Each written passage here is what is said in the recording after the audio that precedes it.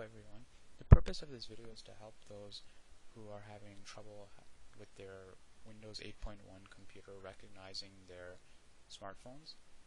Now I have an iPhone 5s and um, when I connected to my Windows 8.1 computer it it didn't it was not able to be recognized by my computer. Um, iTunes would recognize it so you know, when I would connect my iPhone to the computer it would show up in my iTunes, but um, in the My Computer section, there would be no iPhone. So this iPhone here, like before, it, it would just not appear, and so I would not be able to access my uh, my camera roll on my iPhone. And after doing some research, I found a fix for, for this problem.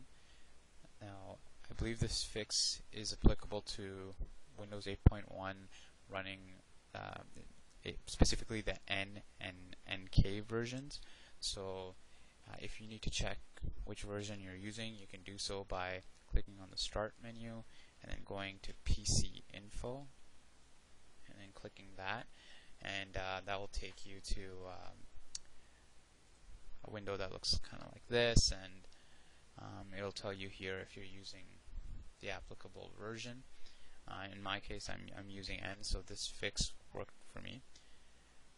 And so what we have to do is we have to download the media feature pack for N and KN versions of Windows 8.1. So you can go on Google and search for that.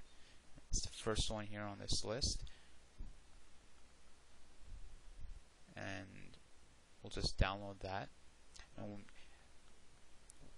the contents, uh, one of the files in, in, in this uh, in this download is uh, a driver called an MTP, which is a Media Transfer Protocol uh, driver, and this will enable your computer to detect your smartphone um, for Windows 8.1.